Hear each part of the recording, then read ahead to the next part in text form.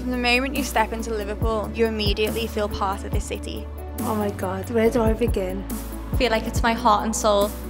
That's the thing with Liverpool, you can't make a plan because everything just happens and you just go with the flow.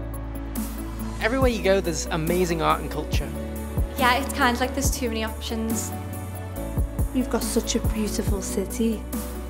You just can't beat it. It just makes you remember why this city's loved around the world.